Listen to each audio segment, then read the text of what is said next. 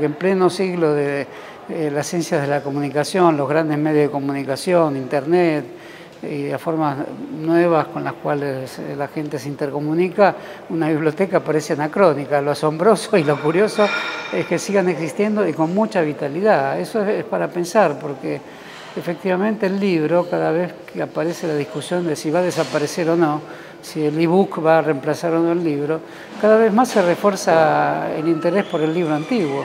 Y el libro antiguo ya es no solo un motivo de interés, de nostalgia, de lectura multiplicada, sino también de un gran mercado internacional de ese tipo de libros, de mapas, la biblioteca tiene su mapoteca, su fototeca, en ese sentido es un individuo muy complejo respecto a todo lo que tiene la capacidad de ser publicado serialmente, y no serialmente también como los manuscritos de los escritores.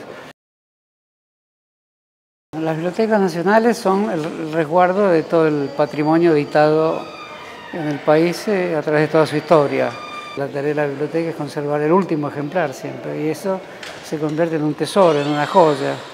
Por eso también tenemos en nuestra sala del tesoro toda la historia de la Argentina en su papelería. También acá se guarda por depósito legal todo lo editado musicalmente en la Argentina y todas las partituras.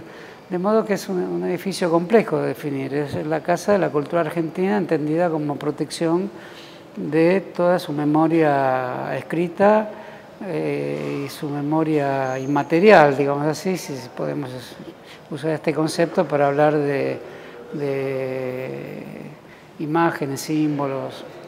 Sin esta biblioteca dudo que un investigador pueda escribir una gran historia argentina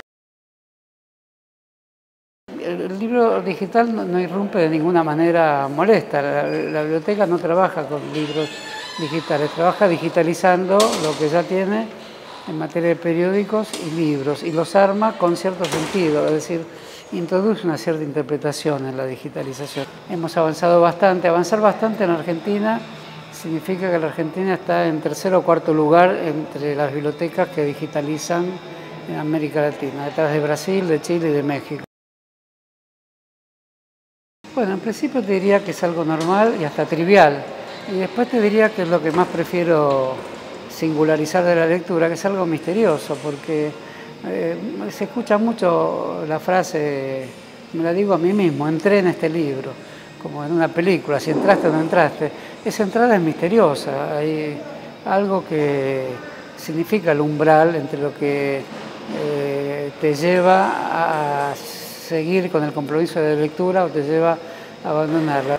La verdadera lectura para mí es que puedas entrar en la lectura de Proust. ¿Y cómo se entra en la lectura de Proust? Eh, produciendo algo que es habitual en el lector, lo sepa o no, que es que lee de, algún modo cuando lee el espejo de su vida.